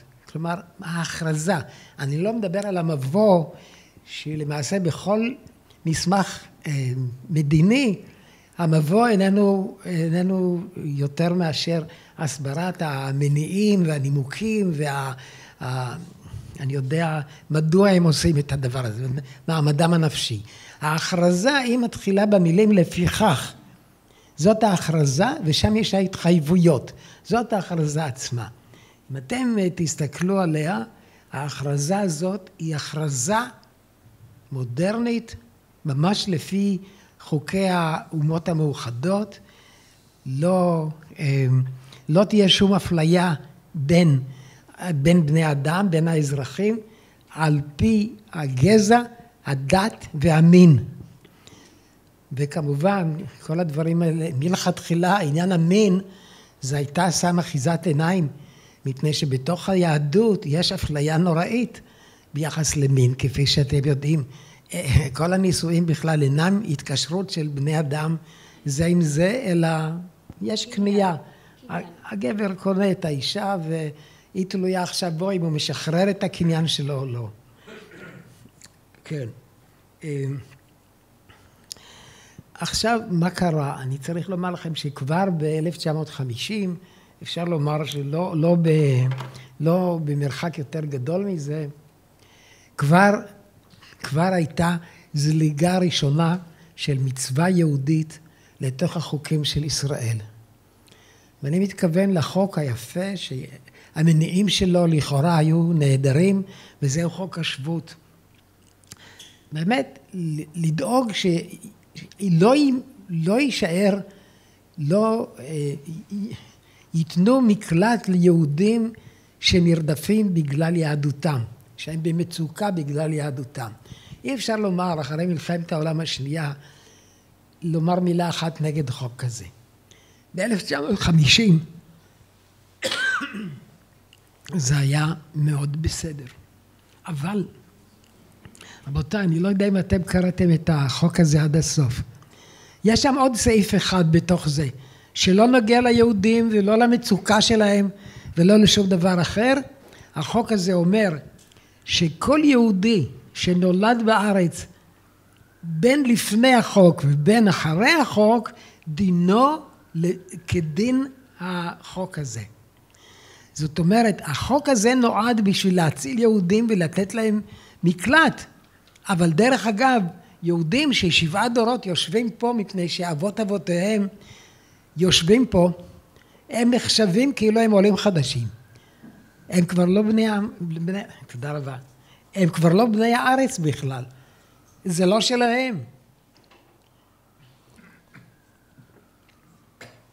אז השאלה כמובן, מדוע זה הדבר הזה נכנס? הוא נכנס כדי להבדיל בתושב, בין תושבי הארץ הקודמים שהיו בזמן האנגלים, בזמן השלטון האנגלי, להבדיל בין יהודים ובין לא יהודים. זה חלק מהתפיסה היהודית לא להתערב בגויים. מה, אתה, אני ומוסטפא נהיה בחוק אחד? איך זה אפשר? אני יהודי. אז אני, הקרובים שלי בחוץ לארץ הרבה יותר קרובים לי מאשר הוא. לכן זה לא במהפך של 1977.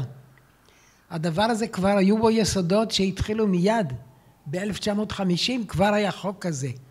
ואני מצטער, אני אה, פעם אחת כתב זאב שטרנל על הדבר הנורא הזה שהוא התחיל לדבר, שהוא כמובן כולו איזה רדיפות שהממשלה עשתה כאן ואחרת. והוא שאל איזו שאלה רטורית, איפה הייתם בלילה השחור שחוקקו, אני לא זוכר איזה חוק. אז אני שאלתי אותו, איפה אתה היית בלילה השחור שהבדילו בין יהודים ולא יהודים בחוק יסוד כמו חוק השבות. הרי זו הייתה ההבחנה. מפני שאיש שיושב ב, ב, ב, בארץ במשך, יושב, נולד בארץ, יש לו זכות להיות זו, והנה מפלים אותו לעומת האיש הערבי שאיננו כזה. אני, אה, אני רוצה לומר רק עוד, אה, אחרי זה אני אספר לכם משהו על מה שאתם הזכרתם, אבל קודם כל אני רוצה לשאול אתכם, אם מישהו העלה בדעתו איזה לאום זה המרומז במילים הביטוח הלאומי. איזה לאום זה? וכשחיפשו את הציפור הלאומית, איזה לאום יש לו ציפור לאומית? שירות לאומי. שירות לאומי. יש יש לי איזה חמישים או שמונים, אני לא זוכר כמה דברים שאתה יכול לאסוף אותם, פשוט בלי שום בעיה. אה, יש לנו ליגה לאומית. אולי אתם זוכרים שבליגה הלאומית סכנין זכתה. והם היו מאושרים, אבל הם היו בליגה הלאומית. אז איזה לאום זה? אז מה, איך יכולים לשופטים לומר אין לאום, לא הוכח קיומו של לאום ישראלי? אתה לא יכול לומר את זה, אלא אם כן אמרת דבר שקר, וזה לא מתאים לשופטים. כי זה קיים, זה קיים, הלאום הזה קיים אם תרצו ויש מי שלא רוצה. אבל אנחנו כולנו משתמשים בזה, כולנו מכירים. יש פה לאום בצורה ברורה, ואף על פי שעדיין היום דוחים אותו, הוא ינצח, אין לי שום ספק.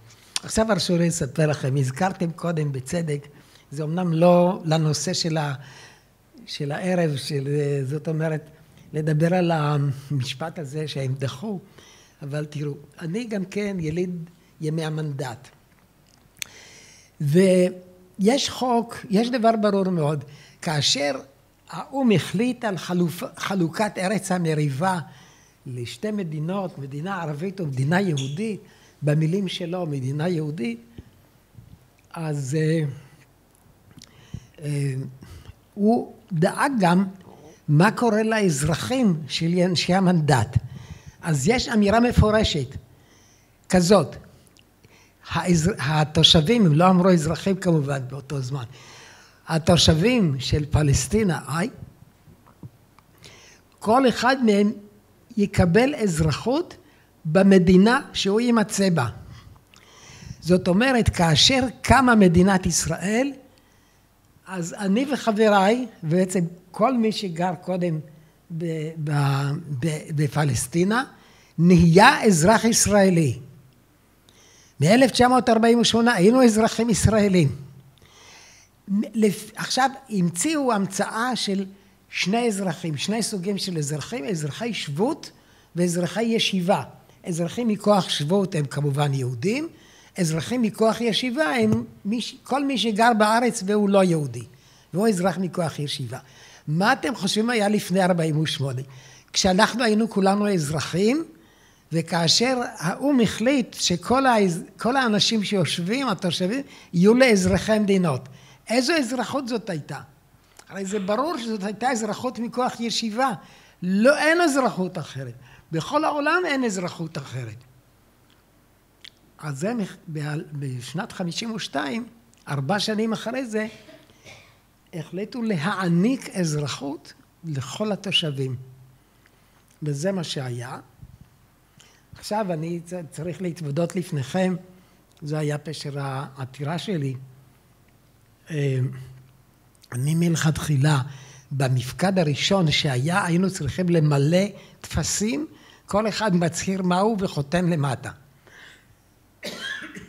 אמרתי לכם קודם על המילה עברי ומשמעותה בימי היישוב העברי.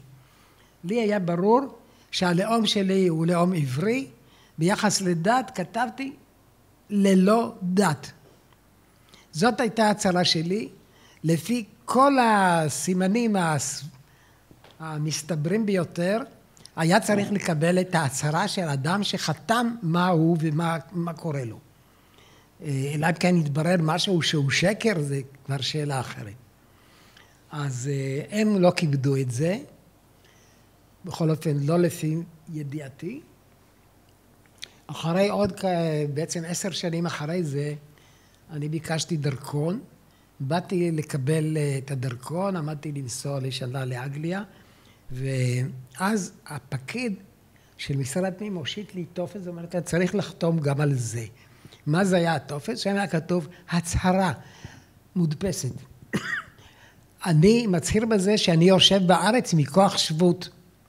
אמרתי לו, סליחה, זה לא מתאים לי. אני לא יושב בארץ מכוח שבות. הוא אומר, מה זאת אומרת? לא, אני מכוח ישיבה. אני הייתי אזרח כל הזמן, וגם עכשיו אני אזרח ואין לי שום עסק בשבות.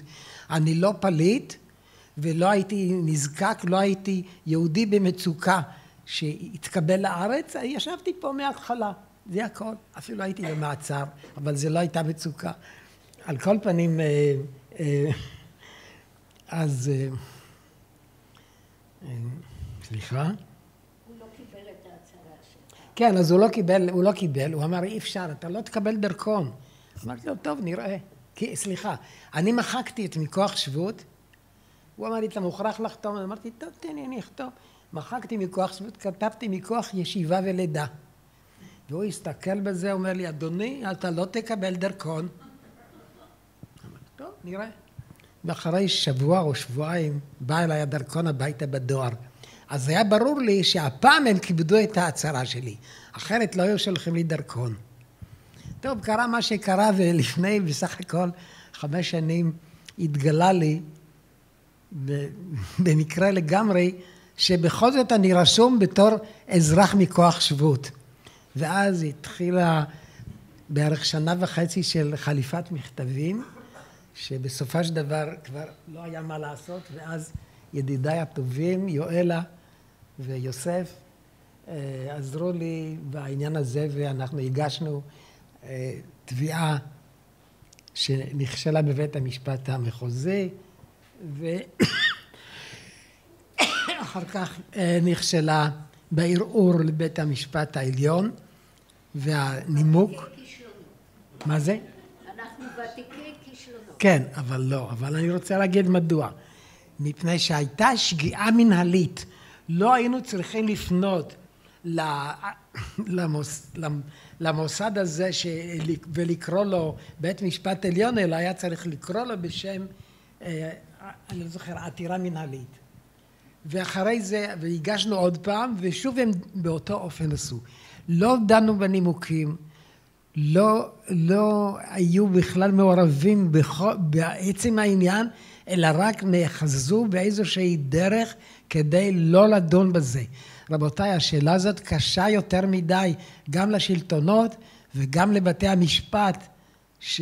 של השלטונות האלה, או של בית המשפט הוא אולי הוא כללי, אבל הוא מאוד מאוד אה, עובד לפי הקונסנזוס שישנו. ואז אני כבר, אני חושב שאני כבר לא יכול להעלות אתכם ב, ב, בכל מיני פרטים, אה, מפני שאפשר אה, היה באמת, אה, הם, לא, הם פשוט לא שמו לב. למשל, העובדה שהייתי אזרח קודם, ומי, ונגד רצוני שינו לי את האזרחות. מה זה, זה הולך ברגל? אי אפשר לדבר על זה? אסור לכם? או למשל, עניין נוסף של... אה, היה, הייתה פקודת הפקודות, כשהחוקים נקראו פקודות בהתחלה. פקודה של בעלי, שאנשים שצריכים לבחור לאספה המכוננת. האספה המכוננת עמדה לקבל חוקה, היא בסוף לא קיבלה, אבל היא עמדה, הייתה מכוונת לקבל חוקה לישראל.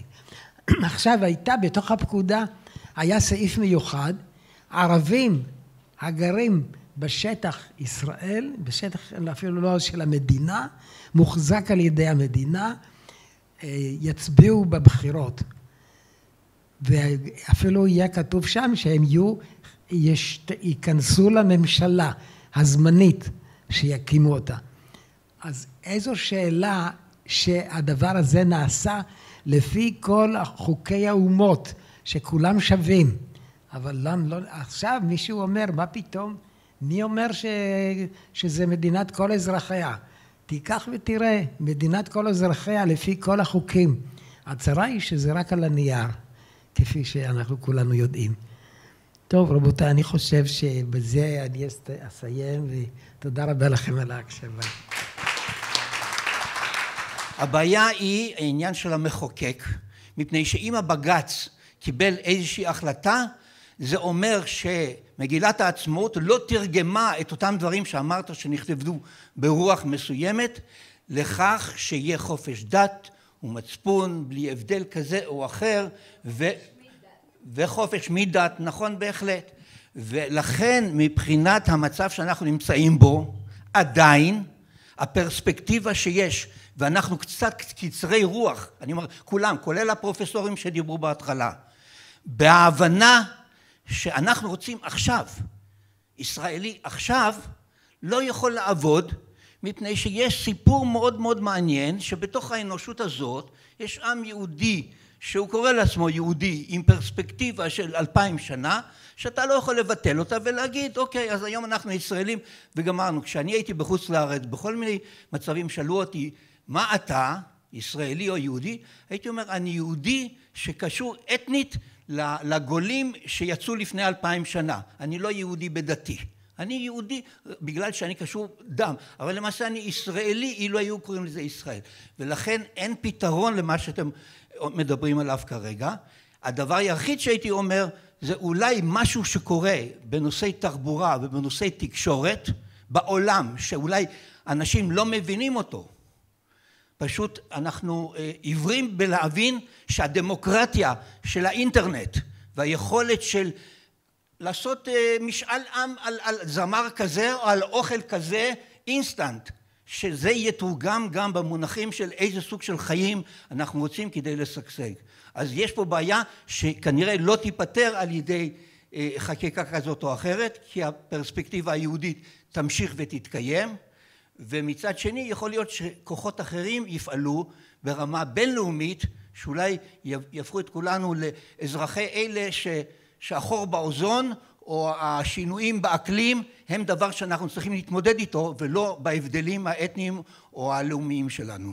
האם אנחנו מכירים עוד מקום בעולם שבו הלאום נקבע על ידי מוסד דתי? ההשתייכות שלי לעם היהודי, ללאום היהודי, היא לא החלטה שלי. ולכן, האם בכלל אפשר לדבר כאן על הגדרה עצמית של יהודים? אין דבר כזה הגדרה עצמית של יהודי. יהודי הוא מוגדר כיהודי בגלל שהרבנות קבעה שהוא יהודי, בגלל שהוא היה ילד של אימא יהודייה. יש לנו בעיה מאוד מאוד רצינית בזה שלקחנו את הדת וקראנו לה יהדות. הרי זה לא, זה לא יעלה על הדעת שאנחנו לא נוכל, לא ייוולד כאן ילד.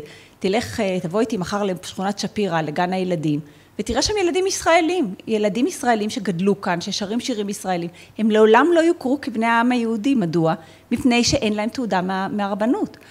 זה בעצם הכשל, ואני חושבת שמשה כאן אמר את הדברים האלה. חוסר ההפרדה בין דת ומדינה הוא לא עומד ביחד עם האפשרות של דמוקרטיה בשום צורה.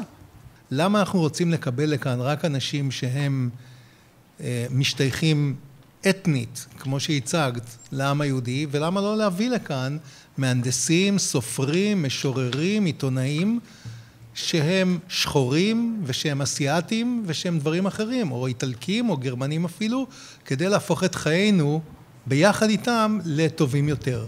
במידה מסוימת זה קיים, אנחנו מביאים, אבל אנחנו מביאים כמובן אריתראים ואחרים. ו...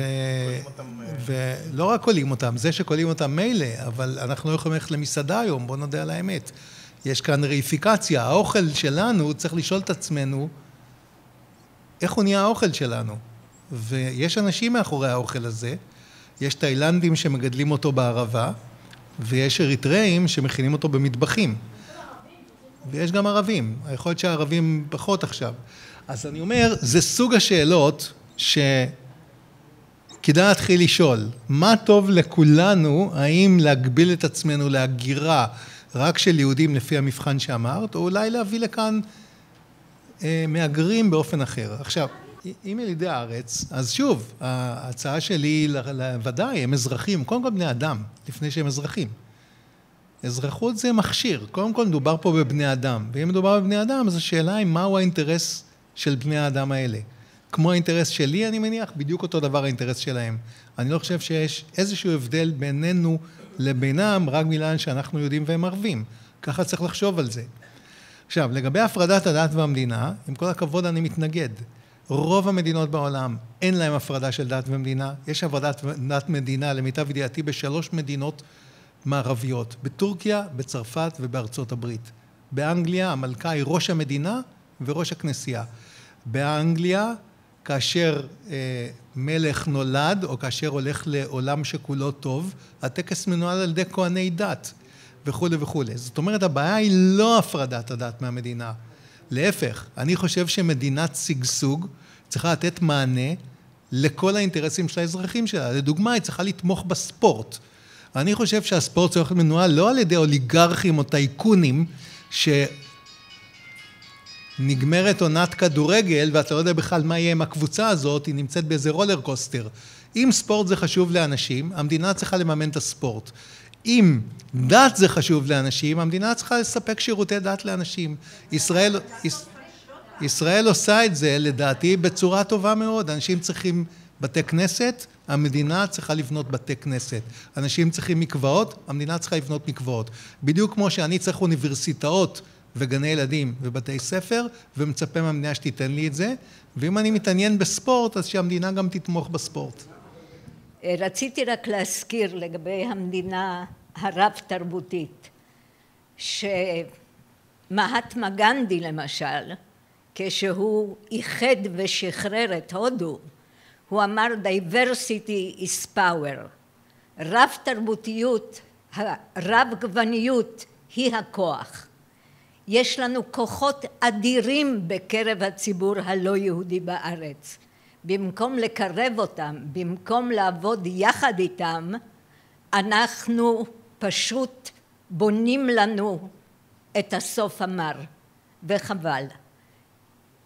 מילה נוספת שאני לא יכולה לוותר עליה, זה מה זה יהודי לכל הרוחות. אני פעם חשבתי שיהודי זה משהו שאני כל כך גאה בו. ואז פתאום התברר לי שיהודי זה משהו שרב אורתודוקסי, קיצוני, קובע לי מהו יהודי ומי הוא יהודי. לא, לא נכון, כן נכון. לא במדינת ישראל, מדינת ישראל לא מכירה בהן. עכשיו, נגיד שנחליט שזאת מדינה יהודית ורוב היהודים יהגרו ממנה, אז היא תהיה מדינה יהודית? זאת צריכה להיות מדינה שהתכנים שלה, שהתרבות שלה, שהיחד שלה הוא שוויוני והוא כזה שכולם רוצים להיות חלק ממנו. רק אז זאת תהיה מדינה וזאת תהיה מדינה שלנו. Thank you.